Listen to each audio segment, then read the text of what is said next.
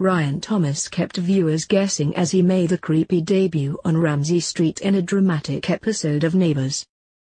The ex-Coronation Street star has joined the Australian soap as mysterious English tourist Rafael Humphreys, a loner with dark secrets and a score to settle. The Jason Grimshaw actor made his debut in a special late-night episode of the Channel 5 soap on Monday, entitled Hit and Run, which saw Rafael appear to stalk Paul Robinson, Stefan Dennis. One eerie scene saw him standing over Paul as he slept, while in another he peeled off his shirt to reveal a back laced with scars. Some people joked that Thomas had been picking up tips from Corrie's serial killer Pat Phelan. One person wrote on Twitter, Jason Grimshaw creepily standing over Paul Robinson's bed, he really did spend too much time with Pat Phelan before he left Weatherfield. Um cause Rafael standing by Paul's bedside watching him sleep isn't creepy at all. Said another.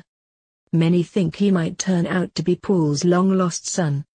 Who is this mystery man skulking around? Surely Paul doesn't have another long-lost son? Asked one viewer.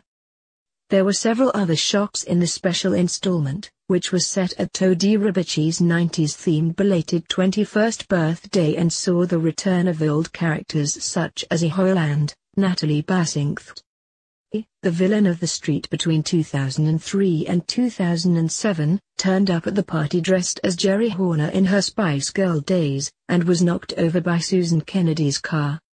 She has yet to reveal why she is back but fans are convinced she is up to no good with many asking on Twitter, what is he hiding?